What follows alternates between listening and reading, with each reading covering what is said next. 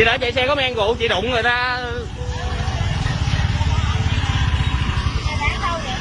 đang đâu là sao em không biết bây giờ là chị đụng người ta ít nhất chị cũng phải đậu lại chị nói chuyện đàng hoàng chứ Bị đụng xe không được xin lỗi, thanh niên theo người phụ nữ về tận nhà và chứng kiến quả báo đến sớm. Đoạn clip dài hơn 7 phút ghi lại quá trình theo người phụ nữ về tận nhà của nam thanh niên đang khiến dân mạng đặc biệt chú ý.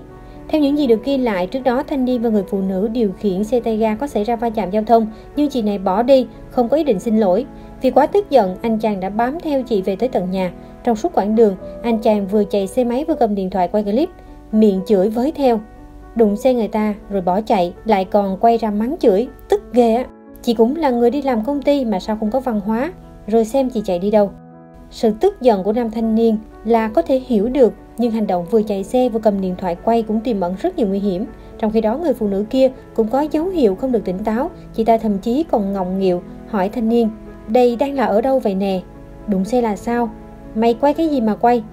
Rồi không cố gắng giải quyết mọi rắc rối một cách triệt để, người phụ nữ cứ thế quay xe bỏ đi và về được tận tới nhà. Tuy nhiên, khi vừa tới trước cổng, cả người phụ nữ và xe máy đã ngã lăn xuống đất.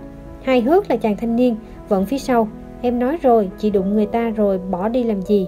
Thôi để em dựng xe lên cho nào. Chị tắt máy đi, không xe lao vào cửa bây giờ. Dựng chân chống xuống đi.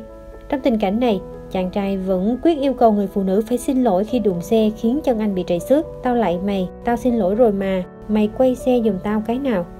Lúc này người phụ nữ dường như đã tỉnh táo hơn. Một lát xong, người nhà của chị này xuất hiện, dắt xe vào trong và để mặt chàng thanh niên vẫn còn đang hầm hực phía ngoài. Đoạn clip kết thúc khi người theo dõi không khỏi ngán ngẩm và hành động của cả hai bên.